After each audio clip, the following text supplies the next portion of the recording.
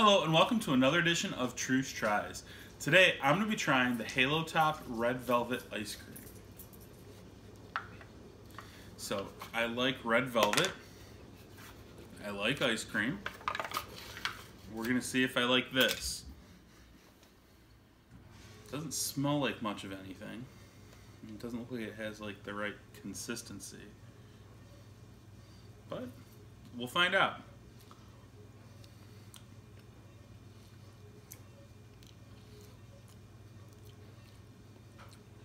This is actually pretty good. I'm again I don't know how creamy it is, but it tastes like red velvet and I like red velvet, so I can give this a thumbs up.